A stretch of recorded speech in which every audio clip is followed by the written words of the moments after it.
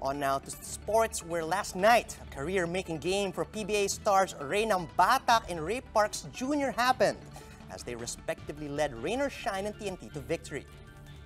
In game one, Nambatac hit a massive triple with just 12 seconds left to pull the plug on a late-game San Miguel rally.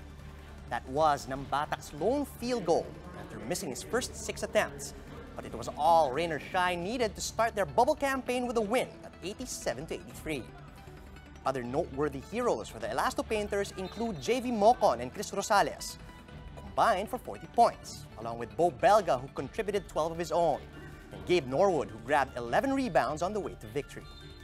In the second game, it was Ray Parks Jr. who exploded to give the Tropang Giga a 112 to 101 victory against Terra Firma.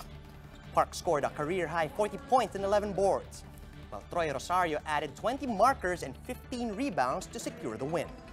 It was hot shooting all night for TNT who made 17 from behind the arc. Park sank 7 of those treys on top of sinking 13 of 18 field goal attempts in his first game of the season.